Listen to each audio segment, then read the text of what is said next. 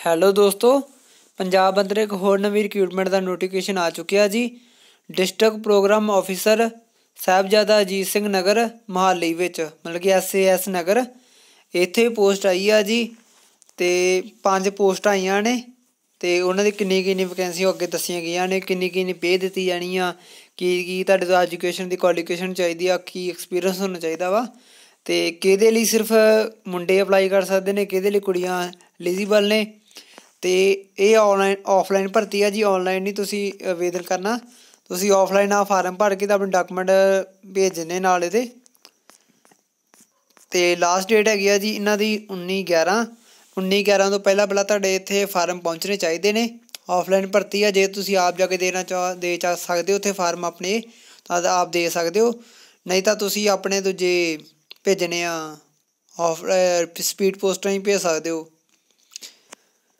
ਤੇ ਬਾਕੀ ਇਹਨਾਂ ਨੇ ਐਡਰੈਸ ਦੱਸਿਆ ਜਿਹੜਾ ਤੁਸੀਂ ਮਿਲ ਗਿਆ ਭੇਜਣੀ ਹੈ ਐਪਲੀਕੇਸ਼ਨ ਜੀ ਇਹਨਾਂ ਦਾ ਆਫਿਸ ਹੈਗਾ ਦਾ office of the district programme officer Sahibzada Ajit Singh Nagar, Mohali DA C complex sector 76 4 floor room number 537 pin number ਦੱਸਿਆ ਗਏ ਠੀਕ ਜੀ ਰਜਿਸਟਰਡ ਪੋਸਟ ਨਹੀਂ ਭੇਜ ਸਕਦੇ ਹੋ, ਜਾਂ ਬਾਏ ਹੈਂਡ ਦਾ ਬੇਸਿਕ ਮਿਲ ਕੇ ਅੱਗੇ ਦੱਸਿਆ ਕਿ ਕਈ ਹੈ ਤੁਹਾਡੇ ਤੋਂ ਡਿਗਰੀ ਹੋਣੀ ਚਾਹੀਦੀ ਆ। ਜਿੱਦਾਂ ਮੰਨ ਲਓ ਆਪਾਂ ਨੀਚੇ ਵੇਖ ਸਕਦੇ, ਪੰਜ ਪੋਸਟਾਂ ਹੋਈ ਜਿੱਦਾਂ ਕੈਸ਼ ਵਰਕਰ ਦੀਆਂ ਹੋਈਆਂ ਦੋ ਪੋਸਟਾਂ ਨੇ, ਇੱਕ ਜਰਨਲ ਦਿੱਤੀ ਜਾਣੀ, ਇੱਕ ਐਸਸੀ ਨੂੰ ਦਿੱਤੀ ਜਾਣੀ ਆ।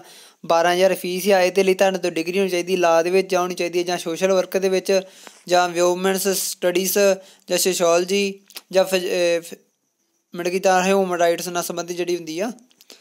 ਤਾਂ ਏ ਦੀ ਗੱਲ ਕਰਦੇ ਹਾਂ 18 ਤੋਂ ਲੈ ਕੇ 45 ਸਾਲ ਏਜ ਆ ਜੀ। ਜਰਨਲ ਵਾਸਤੇ ਜਿਹੜੇ ਐਸਸੀ ਓਬੀਸੀ ਐਸਟੀ ਹੈਗੇ ਨੇ, ਉਹਨਾਂ ਨੂੰ ਜਿਹੜੀ ਛੋਟ ਦਿੱਤੀ ਜਾਂਦੀ, ਸਾਲ, ਸਰਕਾਰ ਵੱਲੋਂ ਦਿੱਤੀ ਜਾਊਗੀ ਜੀ। ਸੌਰੀ 10 ਸਾਲ ਦੀ ਏਜ ਏਜ ਦਿੱਤੀ ਜਾਊਗੀ ਛੋਟ ਤੁਹਾਨੂੰ, ਮਤਲਬ ਕਿ ਉਹ 55 ਸਾਲ ਤੱਕ ਅਪਲਾਈ ਕਰ ਸਕਦੇ ਨੇ। ਤੇ ਮਿਨੀਮਮ ਜਿਹੜਾ ਐਕਸਪੀਰੀਅੰਸ ਹੈ ਜੀ, ਸਿਰਫ ਸੈਂਟਰ ਜਿਹੜਾ ਐਡਮਿਨਿਸਟ੍ਰੇਟਿਵ ਐਡਮਿਨਿਸਟ੍ਰੇਟਿਵ ਹੈਗਾ ਸੌਰੀ ਮੇਰੇ ਤੋਂ ਨਾਮ ਨਹੀਂ ਤਾਂ ਲਾਇਆ ਗਿਆ, ਗਲਤ ਹੋ ਗਿਆ। ਬਾਕੀ ਹੈ ਕਿ ਉਹਦੇ ਉਹਦੇ ਲਈ ਸਿਰਫ 5 ਸਾਲ ਦਾ ਐਕਸਪੀਰੀਅੰਸ ਚਾਹੀਦਾ ਵਾ, ਬਾਕੀ ਸਾਰਿਆਂ ਨੇ 3-3 ਸਾਲ ਦਾ ਵਾ। ਤੇ ਜੇ ਮਤਲਬ ਗੱਲ ਕਰਦੇ ਉਦਾਂ ਤੇ ਵੈਸੇ ਹੈ ਕਿ ਉਹਦੇ ਲਈ ਇਕੱਲਾ 3 ਸਾਲ ਦਾ ਵੈਸੇ ਚਾਹੀਦਾ, ਬਾਕੀ ਕਿਸੇ ਲਈ ਨਹੀਂ ਚਾਹੀਦਾ। ਜੇ ਤੁਹਾਡੇ ਤੋਂ ਹੈਗਾ ਤਾਂ ਹੈਗਾ, ਜਿਹੜੀ ਚੀਜ਼ ਕਿਸੇ ਇੱਕ ਲਈ ਹੀ ਤੁਹਾਨੂੰ ਕੰਪਲਸਰੀ ਆ, ਸਿਰਫ ਪਹਿਲੀ ਪੋਸਟ ਲਈ, ਤੇ ਬਾਕੀ ਕਿਸੇ ਪੋਸਟ ਲਈ ਕੰਪਲਸਰੀ ਨਹੀਂ, ਉਹ ਤੁਹਾਡੇ ਤੋਂ ਹੈਗਾ ਕਿ ਜੇ ਤੁਹਾਡੇ ਤੋਂ ਐਕਸਪੀਰੀਅੰਸ ਹੈਗਾ ਤਾਂ ਤੁਹਾਨੂੰ ਪਹਿਲ ਜ਼ਿਆਦਾ ਦਿੱਤੀ ਜਾਊਗੀ। ਇਹਦੇ ਲਈ ਜਿਹੜਾ ਹੈਗਾ, ਆਪਾਂ ਨੀਚੇ ਗੱਲ ਕੀਤੀ ਸੀ ਜੀ ਕੈਸ਼ ਕੇਸ ਵਰਕਰ ਦੀ, ਇਹਦੇ ਵਿੱਚ ਜਿਹੜੀ ਪੋਸਟ ਦਿੱਤੀ ਜਾਣੀ ਹੈ, ਦੋ, ਉਹ ਜਰਨਲ ਤੇ ਐਸੀ ਦੇ ਕੁੜੀਆਂ ਨੂੰ ਦਿੱਤੀ ਜਾਣੀ ਆ। ਸਿਰਫ ਮੁੰਡਿਆਂ ਦੀ ਗੱਲ ਕਰੀਏ ਤੇ ਮੁੰਡਿਆਂ ਨੂੰ ਸਿਰਫ ਜੀ ਇੱਕ ਪੋਸਟ ਮਿਲੂਗੀ ਜੀ ਆਈਟੀ ਸਟਾਫ ਦੇ ਵਿੱਚ। ਉਹਦੇ ਦੋ ਪੋਸਟ ਨੇ, ਇੱਕ ਜਰਨਲ ਤੇ ਇੱਕ ਐਸਸੀ ਦੀ। ਤੇ 15000 ਤਨਖਾਹ ਉਹਦੇ ਲਈ ਤੁਹਾਡੇ ਤੋਂ ਮਤਲਬ ਕਿ ਜੇ ਗ੍ਰੈਜੂਏਟ ਹੋਣੇ ਚਾਹੀਦੇ, ਤੁਸੀਂ ਜਾਂ ਡਿਪਲੋਮਾ ਹੋਣਾ ਚਾਹੀਦਾ ਤੁਹਾਡੇ ਤੋਂ ਕੰਪਿਊਟਰ ਦਾ ਜਾਂ ਆਈਟੀ ਦਾ। ਇਹਦੇ ਲਈ ਜੇ ਗੱਲ ਕਰਦੇ ਆ 18 ਤੋਂ 45 ਸਾਲ ਤੇ ਬਾਕੀ ਜੇ ਐਸਸੀ ਐਸਟੀ ਵਿੱਚ ਆਉਂਦੇ ਤੁਸੀਂ ਨਾ, ਤਾਂ ਤੁਹਾਨੂੰ ਜਿਹੜੀ ਛੋਟ ਦਿੱਤੀ ਜਾਂਦੀ ਆ। ਇਹਦੇ ਲਈ ਤੁਹਾਨੂੰ ਮੇਲ ਜਾਂ ਫੀਮੇਲ ਚੁਣੇ ਜਾਣਗੇ। ਬਾਕੀ ਕਿਸੇ ਵੀ ਪੋਸਟ ਲਈ ਮੁੰਡਿਆਂ ਨੂੰ ਨਹੀਂ ਤਰਜੀਹ ਦਿੱਤੀ ਜਾਣੀ, ਉਹਦੇ ਲਈ ਸਿਰਫ ਕੁੜੀਆਂ ਨੇ। ਤੇ ਇਹ ਪੋਸਟਾਂ ਵਿੱਚ ਜਾਂ ਦਾ ਜਰਨਲ ਅਪਲਾਈ ਕਰ ਸਕਦੇ ਨੇ ਜਾਂ ਐਸਟੀ ਤੇ ਜਿਨ੍ਹਾਂ ਵਿੱਚ ਕੋਈ ਕੈਟਾਗਰੀ ਦੇ ਥੱਲੇ ਨਹੀਂ ਕੈਟਾਗਰੀ ਲਿਖੀ, ਉਹ ਕਿਸੇ ਵੀ ਕੈਟਾਗਰੀ ਵਾਲੇ ਅਪਲਾਈ ਕਰ ਸਕਦੇ ਨੇ। ਜਿੱਦਾਂ ਕਾਉਂਸਲਰ ਦੀ ਹੈਗਾ 15000 ਤਨਖਾਹ, ਉਹਦੇ ਲਈ ਤੁਹਾਡੇ ਤੋਂ ਚਾਹੀਦੀ ਮਾਸਟਰ ਇਨ ਸੋਸ਼ਲ ਵਰਕ ਤੇ ਕਲੀਨਿਕ ਵਾਸਤੇ ਜਿਹੜੀ ਡਿਗਰੀ ਹੁੰਦੀ, ਉਹ ਚਾਹੀਦੀ ਤੁਹਾਡੇ ਤੋਂ। ਤੇ ਮੇਰੇ ਤੋਂ ਅੰਗਰੇਜ਼ੀ ਦੇ ਵਰਡ ਕਲੀਅਰ ਬੋਲੇ ਨਹੀਂ ਜਾਂਦੇ ਕਿਉਂਕਿ ਮੇਰੇ ਤੋਂ ਜਾਂ ਤਾਂ ਬੋਲੇ ਨਹੀਂ ਜਾਂਦੇ ਜਾਂ ਮੇਰੇ ਤੋਂ ਗਲਤ ਹੋ ਜਾਂਦੇ ਨੇ, ਤਾਂ ਇੰਨੀ ਕੁ ਮਾਫੀ ਮੇਰੇ ਵੱਲੋਂ। ਬਾਕੀ ਹੈ ਕਿ ਤੁਹਾਨੂੰ ਇਹ ਨੋਟੀਫਿਕੇਸ਼ਨ ਤੁਹਾਨੂੰ ਮਿਲ ਜਾਊਗਾ ਫ੍ਰੀ ਜੌਬ ਅਲਰਟ ਸਰਚ ਕਰ ਗੂਗਲ ਤੇ, ਤਾਂ ਉੱਥੇ ਪੰਜਾਬ ਦੇ ਕਾਲਮ ਤੇ ਚਲ ਜਾਓ, ਤੁਹਾਨੂੰ ਇਹ ਮਿਲ ਜੂ ਨੋਟੀਫਿਕੇਸ਼ਨ ਜਾਂ ਸਾਡੇ ਟੈਲੀਗ੍ਰਾਮ ਦੇ ਗਰੁੱਪ ਤੇ ਤੁਹਾਨੂੰ ਇਹ ਪੀਡੀਐਫ ਵਗੈਰਾ ਮਿਲ ਜੂ ਇਹਦੀ। ਬਾਕੀ ਇਹਨਾਂ ਦੀ ਵੈਬਸਾਈਟ ਤੇ ਵੀ ਤੁਸੀਂ ਸਰਚ ਕਰ ਸਕਦੇ ਹੋ, ਠੀਕ ਆ ਜੀ? ਤੇ ਬਾਕੀ ਹੈ ਕਿ ਪੋਸਟ ਆਪਣੇ ਵੇਖ ਲਓ, ਇੱਕ ਪੋਸਟ ਹੈ ਕਿ ਚ ਦੋ ਪੋਸਟਾਂ ਨੇ। ਅਤੇ ਬਾਕੀ ਕਿਸਮਤ ਜਿਹਦੀ ਜਿੱਦ ਨੂੰ ਮਿਲ ਜੂਗੀ ਜੀ, ਬਾਕੀ ਡਿਗਰੀ ਦੇਖ ਲਿਓ ਜੀ, ਕਿਸੇ ਲਈ ਡਾ, ਲਾ ਦੀ ਡਿਗਰੀ ਚਾਹੀਦੀ ਆ, ਕਿਸੇ ਨੂੰ ਸੋਸ਼ਲ ਵਰਕ ਦੀ, ਕਿਸੇ ਨੂੰ ਹਿਊਮਨ ਰਾਈਟਸ ਦੀ, ਇਹਨਾਂ ਦੀ, ਇਹਨਾਂ ਨਾਲ ਸੰਬੰਧਿਤ ਜਿੰਨੀ ਵੀ ਡਿਗਰੀ ਕਿਤੋਂ ਤੋਂ ਹੈਗੀ ਆ, ਉਹ ਅਪਲਾਈ ਕਰ ਸਕਦੇ ਨੇ। ਦਾ ਲਾਇਰ ਵਾਲੀ ਹੋ ਗਈ ਕਾਉਂਸਲਰ ਹੋ ਗਏ, ਤੇ ਠੀਕ ਹੈ ਜੀ ਇਹਨਾਂ ਲਈ, ਤੇ ਬਾਕੀ ਇਹਨਾਂ ਟਰਮ ਤੇ ਕੰਡੀਸ਼ਨ ਦੱਸੀਆਂ ਨੇ ਕਿ ਜੇ ਤੁਸੀਂ ਜਿਹੜਾ ਆ ਪਰਫਾਰਮਰ ਡਾਊਨਲੋਡ ਕਰ ਸਕਦੇ ਹੋ www.sasenagar.nic.in ਮਤਲਬ ਕਿ ਆ ਵੈਬਸਾਈਟ ਤੇ ਤੁਸੀਂ ਪਰਫਾਰਮਰ ਡਾਊਨਲੋਡ ਕਰ ਸਕਦੇ ਹੋ, ਜਿਹੜਾ ਤੁਸੀਂ ਭਰ ਕੇ ਭੇਜਣਾ ਵਾ, ਤੇ ਨਾਲ ਆਪਣੇ ਡਾਕੂਮੈਂਟ ਭੇਜਣੇ ਆ। ਤੇ ਜਿਹੜਾ ਜੀ ਆ ਤੁਹਾਡਾ ਪਰਫਾਰਮਾ ਵਾ, ਜਿਹੜੀ ਤੁਹਾਡੀ ਮੇਲ ਵਗੈਰਾ, ਜਿਹੜੀ ਐਪਲੀਕੇਸ਼ਨ ਤੇ ਭੇਜਣੀ ਆ, ਇਹ 19 11 2021 ਤੋਂ ਪਹਿਲਾਂ ਪਹਿਲਾਂ 5 ਵਜੇ ਤੋਂ ਪਹਿਲਾਂ ਪਹਿਲਾਂ ਉੱਥੇ ਪਹੁੰਚ ਜਾਣੀ ਚਾਹੀਦੀ ਹੈ ਜਿਹਦੀ ਵੀ ਇਸ ਤੋਂ ਬਾਅਦ ਮੇਲ ਜਾਂਦੀ, ਉਹ ਅਸੈਪਟ ਨਹੀਂ ਕੀਤੀ ਜਾਂਦੀ, ਜਾਂ ਤੁਸੀਂ ਬਾਏ ਹੈਂਡ ਜਾਂ ਪੋਸਟ ਰਜਿਸਟਰਡ ਪੋਸਟ ਨਹੀਂ ਭੇਜ ਸਕਦੇ ਹੋ। ਜਿੱਦਾਂ ਵੀ ਤੁਹਾਨੂੰ ਸਹੀ ਲੱਗਦਾ ਕਿ ਤੁਸੀਂ, ਮਤਲਬ ਕਿ ਤੁਹਾਡੀ ਜਲਦੀ ਪਹੁੰਚ ਜੇ ਉਦਾਂ ਦੀ ਭੇਜ ਸਕਦੇ ਹੋ ਜੀ।